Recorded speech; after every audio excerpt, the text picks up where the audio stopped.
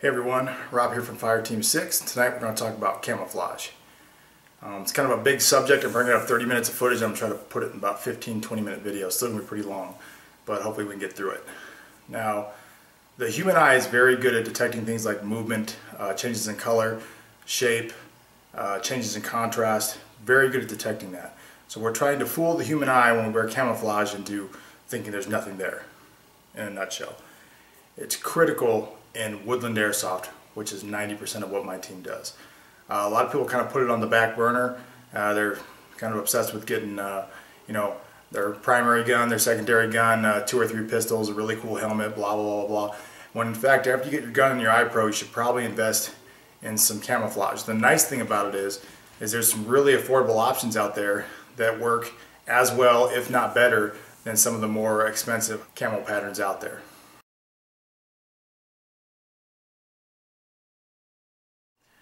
A quick note on what I call the high-speed uh, boutique camouflage patterns, stuff like your, your Kryptek, your Project Honor, or whatever. Understand that uh, camouflage is big business, okay? And there's lots of companies that are trying to push their pattern as the new high-speed, really cool pattern. As a, you know, it makes you disappear and it fools the human eye and blah, blah, blah. Um, most of that is bullshit and salesmanship there's nothing that those new patterns generally bring to the table that even the old 1981 patterns don't do just as well or nearly as well. So if, if how you have fun is by wearing the newest and coolest camo pattern, great. Uh, you know, airsoft's all about having fun. Go out and buy that pattern and, and do what you got to do to have fun. But don't have the misconception that you're going to have a, an advantage wearing that over some of the older stuff because it's just not true.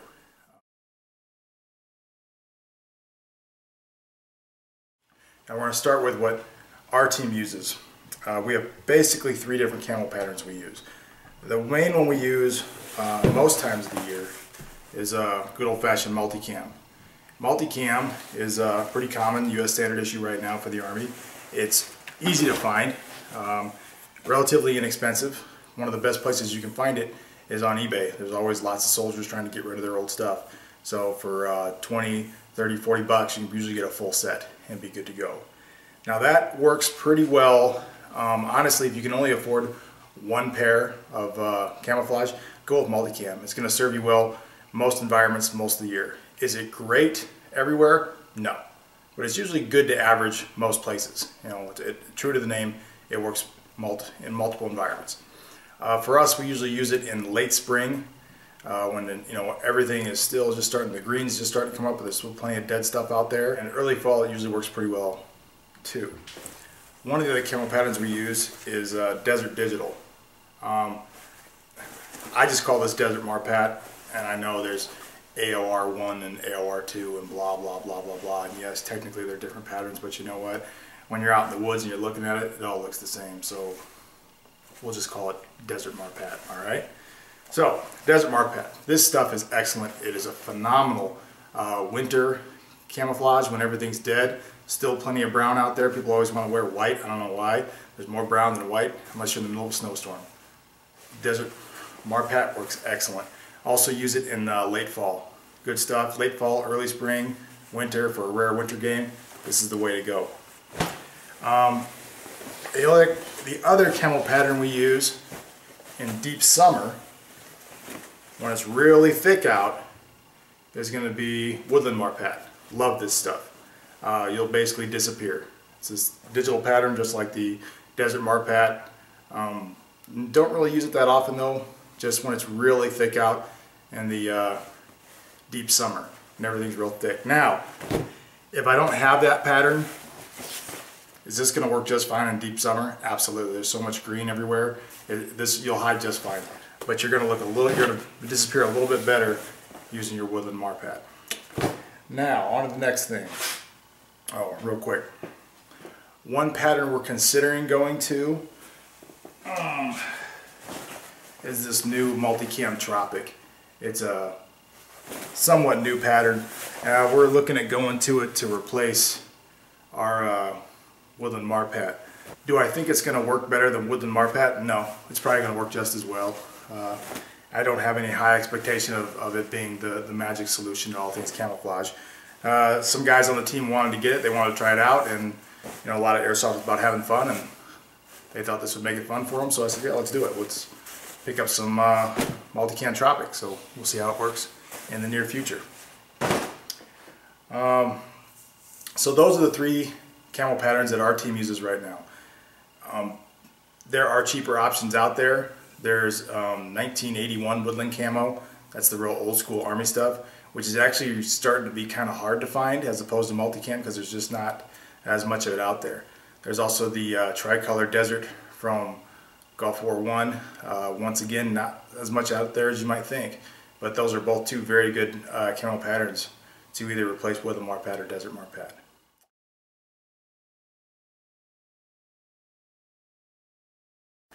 So some quick tips on your gear. You get this really cool camouflage pattern. What are you going to wear you know, for your carrier, for your chest rig, for your plate carrier, whatever you want to call it. Uh, a lot of guys want to have everything matching. Okay, the problem with that is, is you're really limiting yourself, or you're going to cost a lot. It's going to cost a lot of money. When let's say you're wearing Woodland Marpat and you're trying to find a Woodland Marpat carrier, not too hard.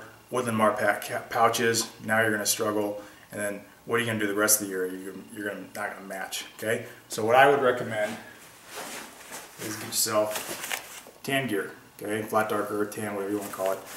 This is great, and it goes pretty well with all the camo patterns I've shown you thus far. It works well. If you don't want to go with tan, I would go with uh, olive drab or green. This is a chest rig I use. Really easy to find pouches in both those colors. Real plentiful. Lots of tan, lots of OD out there. What you don't want to do is wear black.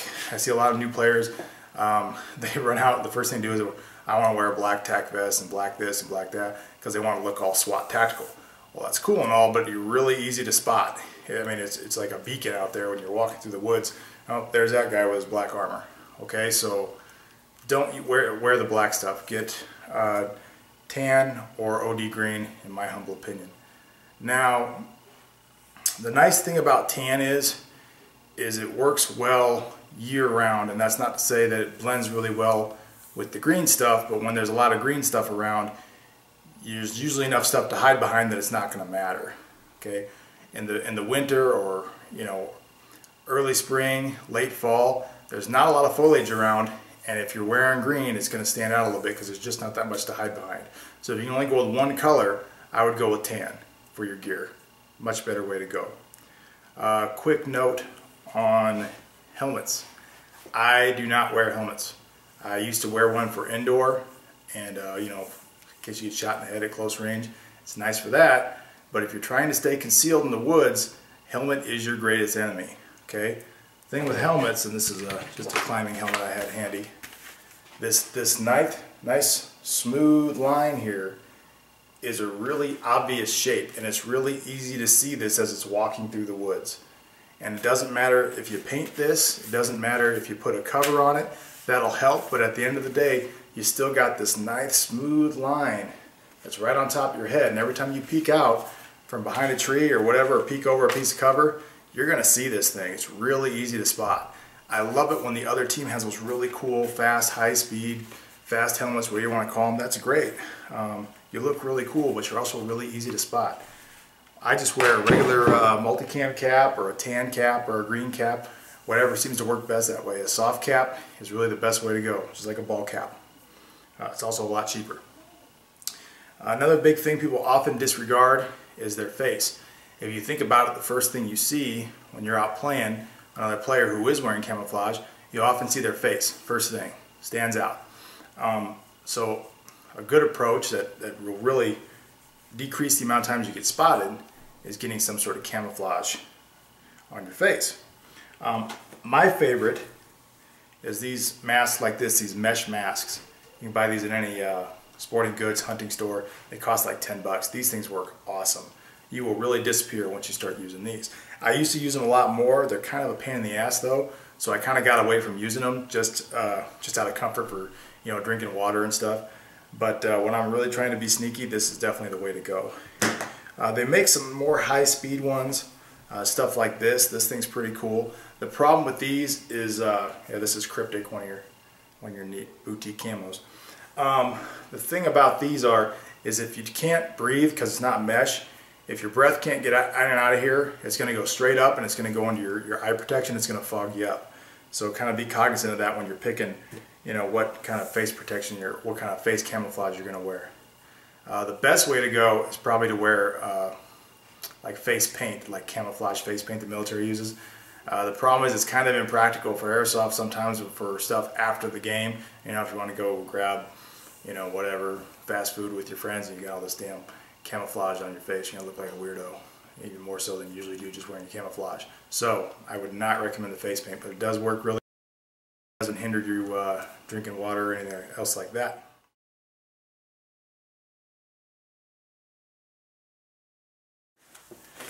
Another quick note on ghillie suits. Now, some people think ghillie suits are all the rage.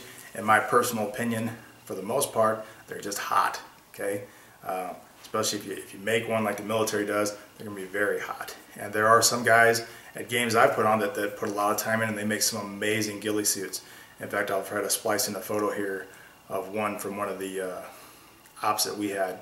It was excellent. The guys were guys disappeared as a shooter spotter team and it was, it was really cool. They did a great job. But for the most part, they're just really hot and they reduce your ability to feel hits. And honestly, unless you match it up really well with your environment, um, it might cause you more harm than good. You might just be really obvious because you're the, the big walking bush that doesn't quite match with everything else out there. Um, what I have tried doing and I've had some success in is I bought what they call a Cobra Ghillie. Looks like this. Now you can't see it because there's some stuff on here, but it's basically a mesh and it just covers your upper shoulders, your back, and it's got a hood on it, but everything else is clear. Uh, it's much lighter than, than like a full ghillie suit, okay? And it, uh, it breathes well. And the nice thing is it covers the important stuff that you're usually gonna see when you're playing, the stuff that you, you wanna stay hidden from the, the enemy. So if you're, if you're prone and you're, you know, you pick it lifting up just a little bit to see what's out there, or you're getting behind your gun, it's gonna cover all those things you don't have to worry about covering your, all your legs and, and you know your forearms because honestly those aren't that visible. Okay, so you're going to save yourself a lot of weight. Um, what I put on here was these little see-through leaf cutout deals. Um, these things are really good at making you disappear out there. They really trick the human eye. They, they break up the human form. I couldn't tell you where I bought them because I bought them so many years ago and I've been unable to find them online. So if you can find a place that sells these little mesh cutout leaves. These things are excellent. Definitely pick up a set. Now I have this fair amount of green and brown. I've, I've uh, got this built up for this time of year. This kind of uh, March, April, early May is when I use this. And then uh, early fall I use this as well. Usually when I'm wearing uh, multicam, that's what this is set up for. All right.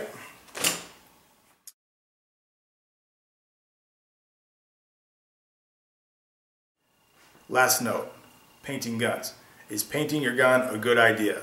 Um, if you want to remain hidden, yes, it's a pretty good idea. Is it as important as you know wearing some sort of camouflage cover on your face? Probably not. Uh, not that critical. But people do spot your gun if your gun is all black. Um, just understand when you paint your gun, there's lots of videos on YouTube on how to paint your gun. When you paint your gun, you're severely decreasing the value of it. So if you ever want to sell it, you might as well just take half off the price you want to sell it for. Not that the resale you know, market on airsoft guns is that great anyway, but just understand if you paint your gun, you pretty much are saying you want to keep it forever because the resale value is going to be crap after you paint it. So uh, that's everything on uh, camouflage. Hope you guys enjoyed the video. You got any comments or questions, feel free to add them uh, in the comment section. And uh, thanks for watching.